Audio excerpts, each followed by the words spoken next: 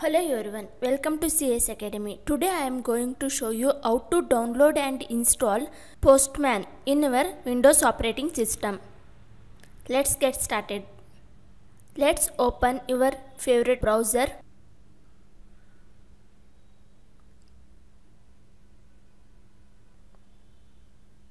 Here search for the www.getpostman.com. Click on this download.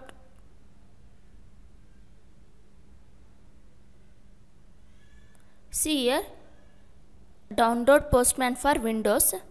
Click on this download. Here it is asking for 32 bit or 64 bit. Mine is 64 bit. So I am clicking on Windows 64 bit.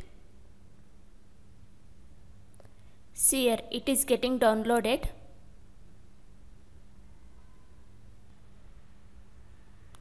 Now it is done with downloading. I will click on show in folder. See here this is our downloaded file. Right click on this folder.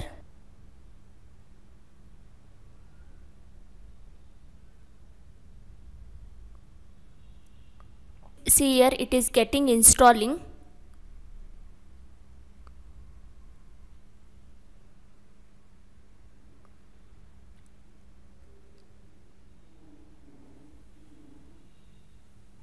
If you want to create the account then you can create here otherwise you can sign up with the Google account.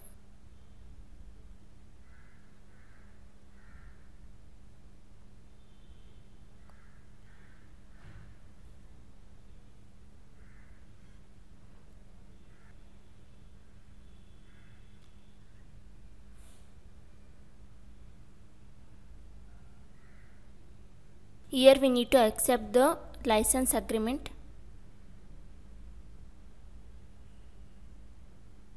Now we signed in to the postman. It is showing just open up the postman app. See here, here is our postman. I will click on this to open.